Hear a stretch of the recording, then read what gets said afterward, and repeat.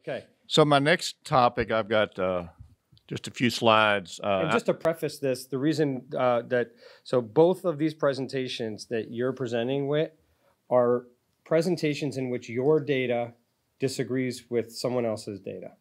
Would you agree with that statement? uh, for the first one, I'm not sure it dis- disagrees for the second one, All right. We'll see. at least by my reading of the Okay, literature. go ahead. It's Todd. So it's about meconium plug syndrome. Uh, and I think it's important to realize this is not meconium ileus. So we're not talking about meconium ileus, we're talking about meconium plug syndrome. And this is the newborn uh, presenting with a transient large bowel obstruction uh, that is relieved by the passage of meconium plugs, sometimes with a, a contrast enema, sometimes with uh, some rectal stimulation uh, but it's not meconium ileus. And I did not actually know this, Todd, but this uh, syndrome was first described by uh, William Clatworthy uh, at Ohio State. Wow. I did not know this in 1956, and so I've shown the the title uh, page of his uh, uh, report, uh, and they describe nine uh, children. Uh, one of the nine children uh, developed uh, or was found to have Hirschsprung's disease. Um, so our paper was um, 2008, and this was a retrospective study, uh, and we looked uh, over a 13-year period uh, at newborns who were documented to have meconium plug syndrome from 1994 to 2007, and there were 77 babies. And 10 of those babies were subsequently found to have Hirschsprung's disease, uh, which was uh, about the same as the Clatworthy paper. No baby had cystic fibrosis. Uh, a lot of early literature seemed to suggest, uh, well, not necessarily a lot, but some early literature seemed to suggest an association with cystic fibrosis and meconium plug syndrome.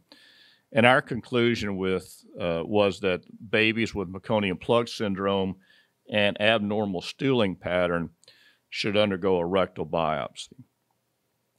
A recent paper uh, that uh, just came out um, was from um, uh, Dr. Uh, Lautz uh, and colleagues at uh, Northwestern.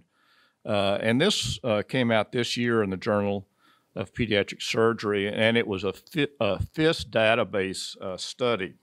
So PHIS is the Public Health uh, Information Systems, and that's really a database registry for hospitals participating in the Children's Hospital uh, Association uh, in the United States. And there are about 50 hospitals within the Children's Hospital Association. So this is a, a PHIS database study from 50 children's hospitals in the U.S.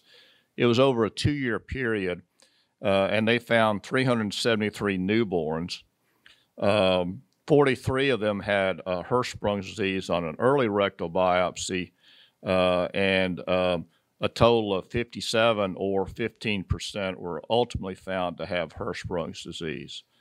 And so, at least from my reading, Todd, the in these three papers, the incidence of Hirschsprung's disease is somewhere between 11 and 15 percent. So that's why I'm not sure I, I think that there's a lot of difference in these, um, these papers. Okay. So that's because we had, okay. So we're all in agreement then. Do you have any comments that were, that were? that There are some limitations in this paper, and I mean, the retrospective database study, and that they didn't have uh, a good code to identify the rectal biopsies. So they used a whole bunch of different uh, CPT codes and procedures and diagnostic codes that may make it a little murky for analysis, but Okay. Yeah, I think that uh, database studies in general suffer from a lot of the, you know, same problems, and this was uh, no exception. But it, but it comes out to a similar, a relatively similar um, Yeah. instance of Hirschsprung's disease. So, uh, Mac, do you biopsy all of your meconium plugs? I was about to ask you a question. Okay, go ahead. Is the controversy that a 10 to 15 percent incidence means warrants that all these kids get a, a biopsy, right? right. That's that's the Yeah. controversy. How do we interpret the data? Yeah, Yeah. right. So, so what do you do? I've got, done both. okay. Whit, what do you do? So we uh, generally, if there's if there's abnormal stooling pattern, then we'll do the biopsy. So- but we do not biopsy every. Now there there are not that many, but every patient with meconium, every baby with meconium plug syndrome. Did any of the babies, the question is that 10 to 15% that you don't biopsy that come back to find out, has it ever, you know, have they gotten worsening enterocolitis because you wait, you know, in other words, can you afford to wait and see? Or is it, are those patients getting sick and it's worth doing it? And even though 85% of them are going to come back negative. Liz, what do you do? Uh, we biopsy. You biopsy all of them? Yes, Yeah. sir. Mhm. Okay. Uh, out in the audience here, do you, the question is, do you, do you routinely biopsy babies that have meconium plug? Dan Von Allmen says yes. Wolken says no. Selective. Okay, Mira's agreeing with Dan. Selective. Okay. Selective based on how they're doing clinically. Okay. Okay. All right.